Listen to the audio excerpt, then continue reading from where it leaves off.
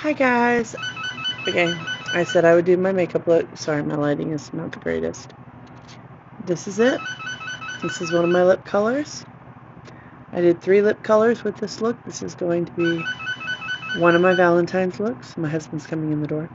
It's not working today because we got ice. This is one of my other colors. Yes, it's a little darker for me, but when I do my lip liner, it looks so much better, but And this is the one I prefer to wear with all my looks, but I'll probably go with the pink one. Messed it up a little bit. But my hands are shaking a little bit, so.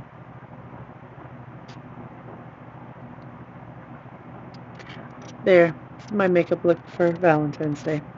Me, I will personally probably go much bolder, but my friends wanted me to do a more neutral look, so that's why I went with the pink color lipstick first. And then I'll also use like these. Hold on. These for Valentine's Day because I love sparkle. I just love, love sparkles. So, what do you think, John? Say hi. Mm-hmm. My husband's freezing. He's got Charé and Bobby and Reese's and Schnucks right here.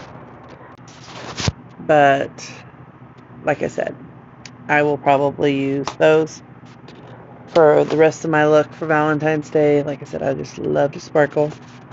Not sure what we're doing yet, but that's his day off. And uh, see, it's nice, pretty red. I love this red. One of my favorites. So, love y'all. Have a great day.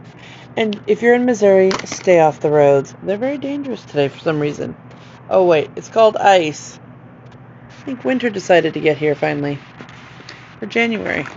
Which is okay. We need winter. Winter is not a bad thing. It's not a bad word. Love y'all. Have a great day.